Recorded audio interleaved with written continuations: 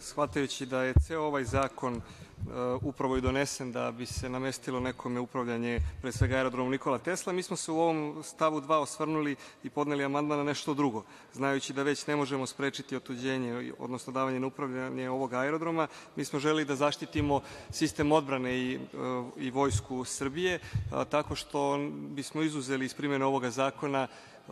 tzv. mešovite aerodrome, one aerodrome koji se delimično koriste u civilne svrhe, a za potrebe civilnog saobraćaja, odnosno koji su pretežno aerodromi koje koristi Ministarstvo odbrane i Vojska Srbije. Tako da smatramo da bi oni trebali biti izuzeti iz primene ovog zakona, jer bi promena upravljača, odnosno dolazak nekog privatnog upravljača, naročito upravljača aerodromom koji bi bio iz inostranstva, mogli značajno da utiču na rad Ministarstva odbrane, na